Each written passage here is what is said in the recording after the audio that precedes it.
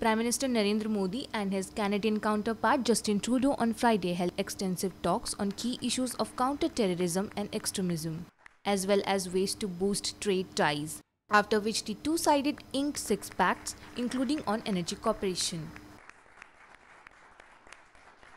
Canada के साथ अपने स्ट्रेटेजिक पार्टनरशिप को आगे बढ़ाने को भारत बहुत अधिक महत्व देता है हमारे संबंध, लोकतंत्र, बहुलवाद, कानून की सर्वोच्चता और आपसी संपर्क पर आधारित है।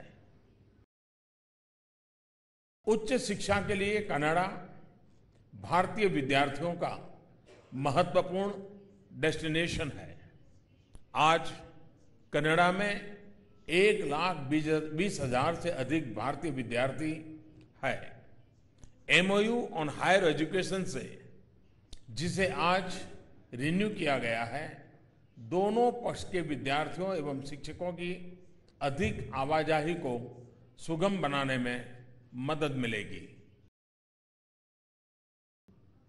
कनाडा एनर्जी सुपर पावर है और हमारी बढ़ती ऊर्जा जरूरतों को पूरा कर सकता है।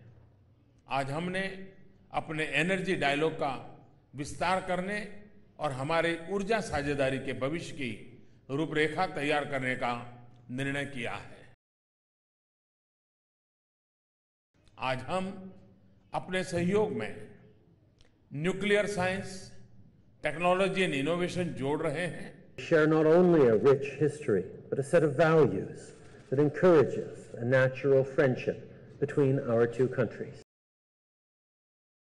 India is a natural partner and a trusted friend. A renewed economic partnership must create jobs and help families get ahead.